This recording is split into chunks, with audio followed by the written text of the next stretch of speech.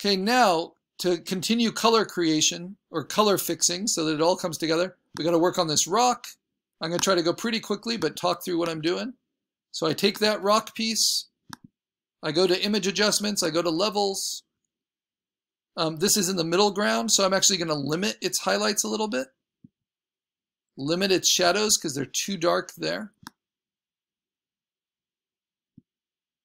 And I'm going to get to show you some some lighting features beyond just levels, which is a direct adjustment to what's called a tool adjustment. And so now I'm going to show you how I can actually light this differently in different places on the layer using direct tools. And those direct tools are the dodge and burn tool. So the dodge and burn tool, it looks like a little lollipop. It's right over the, the type tool. And dodge is the top one in the drawer, so I'll start with that. Because we've used levels, now this should be a little bit more understandable. I always want you to use dodge and burn on the midtones. It gets dangerous if you use it uh, other places, at least at first. And I want you to always use an exposure that's less than 30% because it's a very strong tool that moves very fast. So usually I'll do about 15%.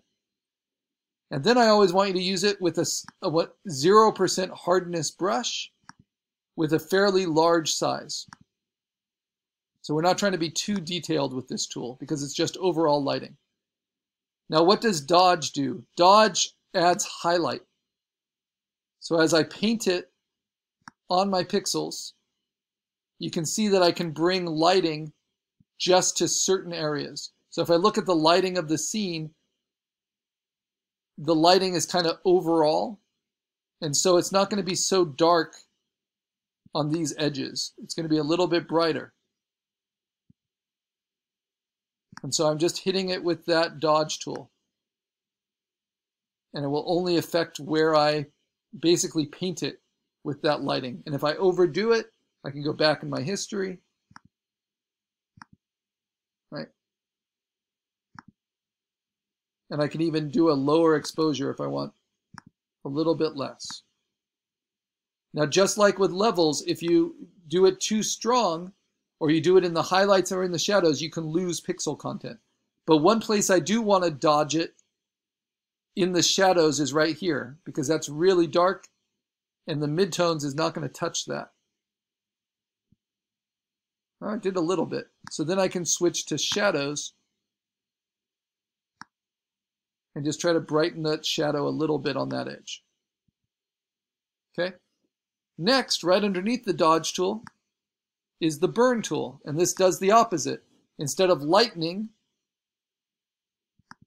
it darkens. So I'm going to go to midtones. I'm going to go to less than 30 for the exposure, around 15. I'm going to use a very soft 0% hardness brush that's pretty large. And now at the bottom of this, where it's in the, the mouth of the volcano, it's going to be shaded in the midtone. So I can darken those tones. Right. Now this goes to, to dark pretty quickly. So I might have to adjust the overall levels again afterwards.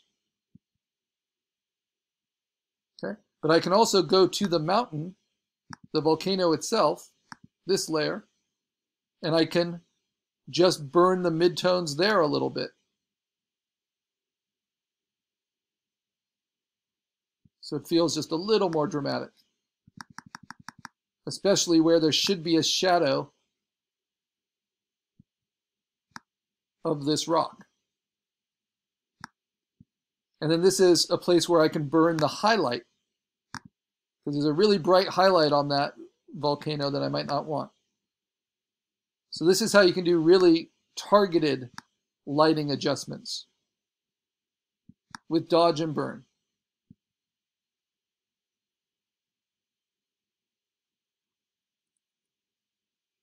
And then of course, don't forget your other tools.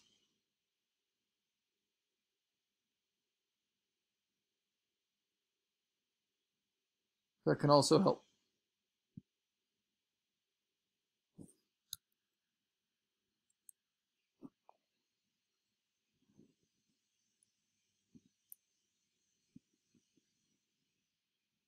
So I'm going to delete that edge, and then I'm just going to bring my rock down a little bit more. There we go.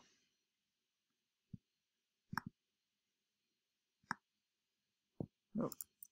I'll just leave it like that for now. Okay, so that helps with the rock in terms of um, dodging and burning and little spotlighting on it. Now I'm going to make a duplicate of it and just do the overall adjustments. Because now the overall levels will be a little different because I've added dodging and burning into it. And now I'm going to limit the shadows just a bit. There we go. That looks about right. And I can limit the highlights a little bit.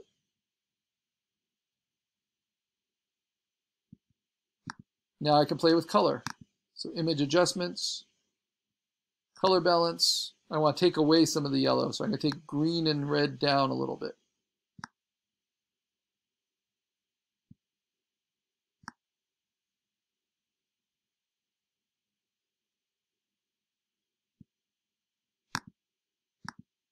Let's try in the midtones.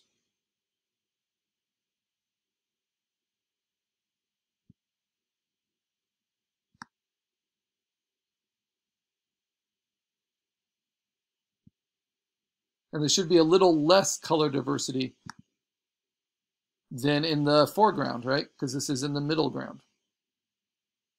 Okay, and now I can go to hue saturation, see if there's anything I want to do with that.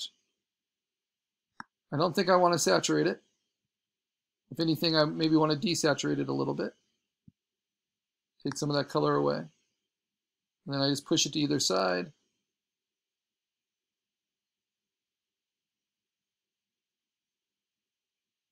maybe about there. Okay.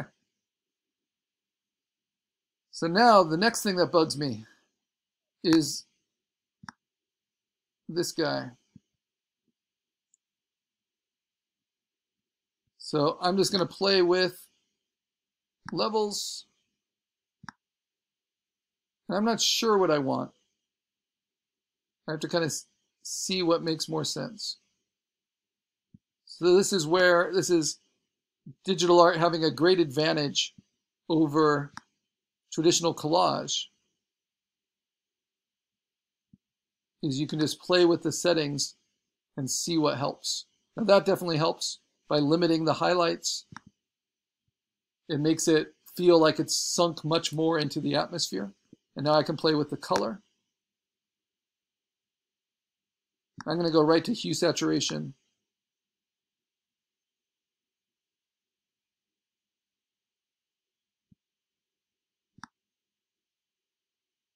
And just take its saturation down a little bit as well. Maybe even darken it a little bit more. So that it feels more believable.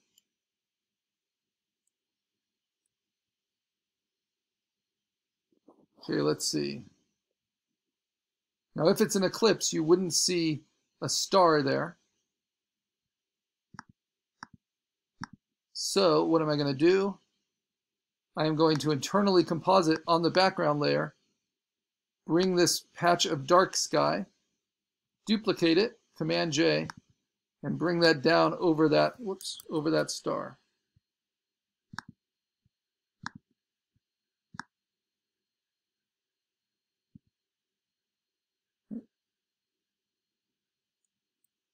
Okay. So this is a good place to save it. I've kind of met all the requirements of the assignment and I've tried to make it look as believable as possible using what I've learned. Now for special effects. Make it even better. This is optional, but this is what's called a texture overlay. So a texture overlay will overlap the whole thing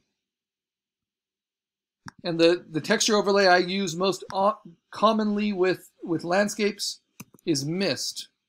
So misty, I'm just doing a Google search, texture over, and you can look for clouds, you can look for fog, you know, go to images,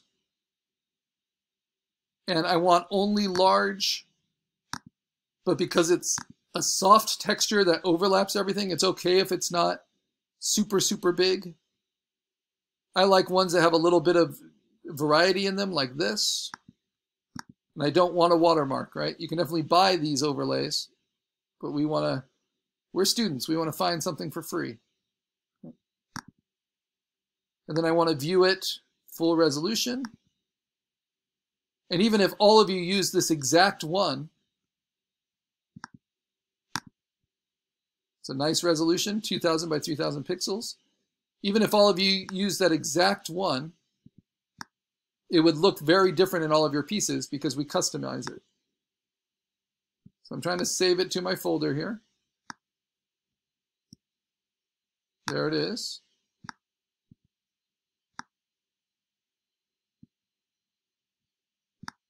It on the recording screen. Good. Okay, now I go back to Photopea and I go above all my turned on layers and I'm going to drag it in. So we haven't done this in a while, but I'm dragging in a new compositing layer. And it will go above everything. Then I stretch it out. I can warp it if I want, but I just want to show you how it works. And I want a lot of this mist. So I'm going to go ahead and stretch it pretty big. Okay, then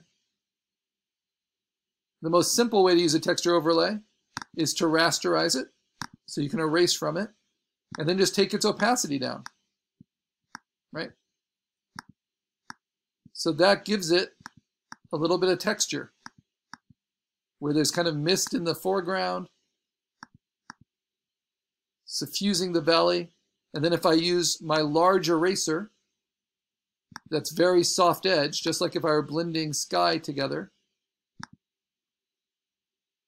And I don't need to use a full opacity. Here I might just use like a 30% opacity. On this big soft-edged eraser, in the foreground, I can erase away so that it comes forward a little bit. And that mist kind of exists more in the background.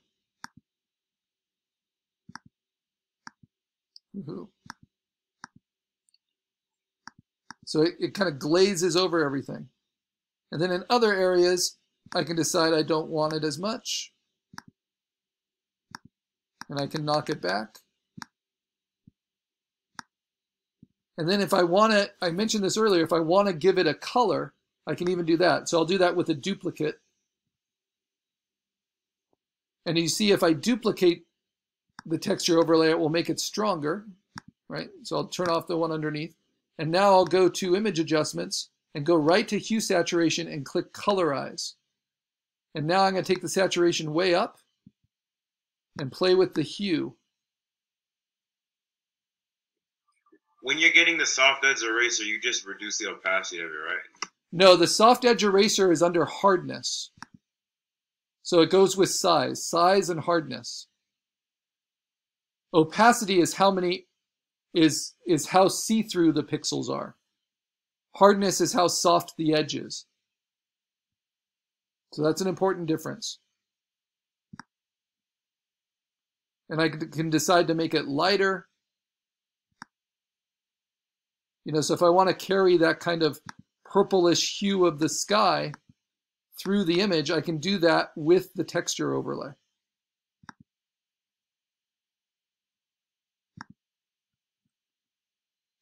So that's just a really quick um, example of skills we'll be learning more and more. But it's a nice way to kind of bring everything in your landscape together. And then, of course, you can play with the individual opacities.